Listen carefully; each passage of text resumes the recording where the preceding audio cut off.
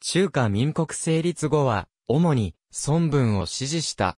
原名は、高忠だが、戦闘帝即位とともに、その意味名を避け、皇位と改名した。字は、白蘭。1893年、終祭となる。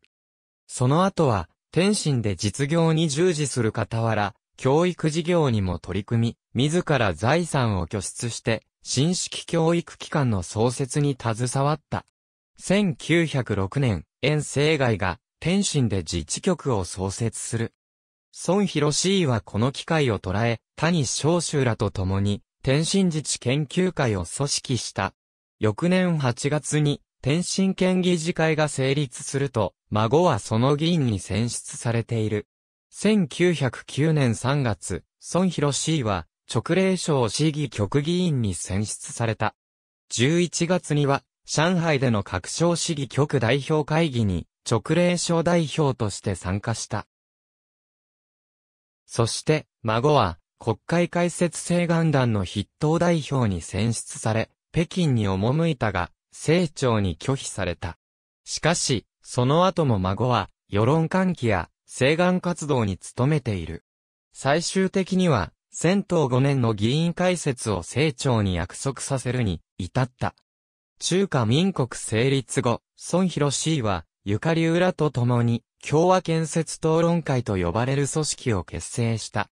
さらに両慶庁などとも連携を深めつつ、1912年8月、民主党を結成する。しかし、国会中心主義に立っていた孫は、遠征外の独裁が次第に高まる様子を見て、失望する。さらに、円への接近を図る張りも疎遠となった。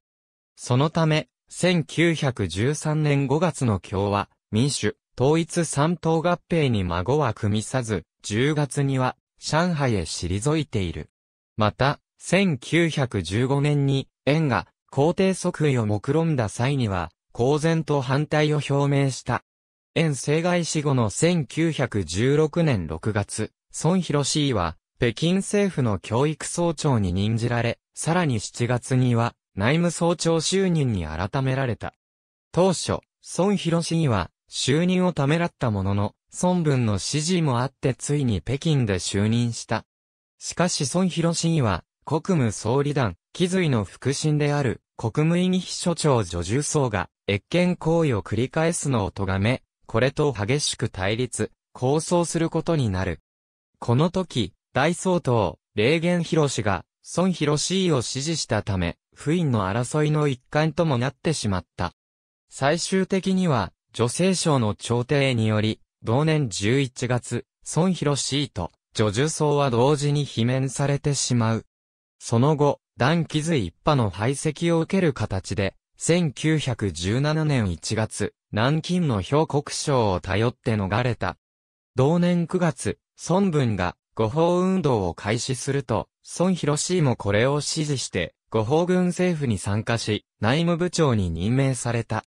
孫博士は、氷国省ら直令派との関係を利用し、北京政府へ政略を仕掛けるなどの役割を果たした。